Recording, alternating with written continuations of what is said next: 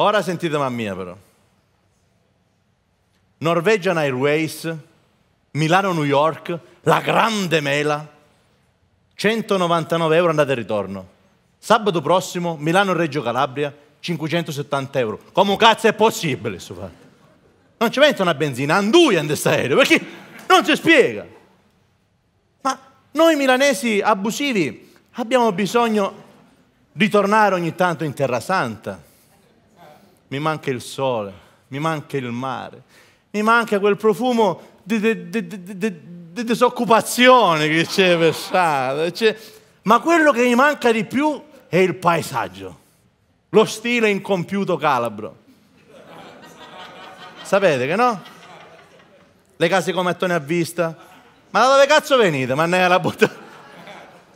Da noi si usa che il padre, il capofamiglia, alza un palazzo di cinque piani, giusto? Rifinisce solamente il primo. Poi, mano a mano che i figli si sposano, rifinisce il primo, il secondo, il terzo. Se i figli non si sposano, se ne vanno, resta così, in defuttiamo. Qual è il problema? che la...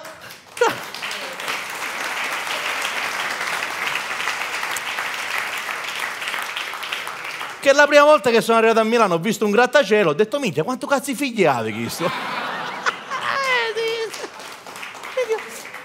Dico, vabbè, proviamo col treno.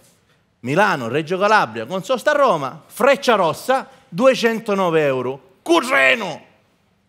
Non ci sono più i viaggi democratici, quei bei treni a lunga percorrenza, vi ricordate?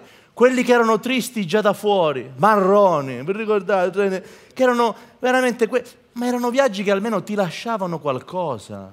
E tu lo sentivi il viaggio. E quando arrivavi a casa lo sentivano anche le persone vicino a te. Un profumo di treno per tre giorni. Ma erano eh, tutte le emozioni veramente passavano attraverso un finestrino, o no? Un eh, baci strappati, fazzoletti sventolati, un nonno che ti carregava la valigia, te ne figlio!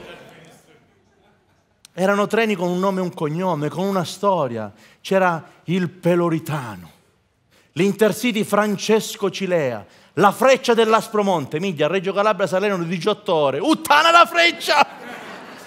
A scendere di solito prendevo uno che era eh, boh, comodissimo perché partiva da Torino alle 8.30 di lunedì mattina. Oh, arrivava la sera alle 18 di giovedì. Dai, la buttata. Quattro giorni ci piegava sul re.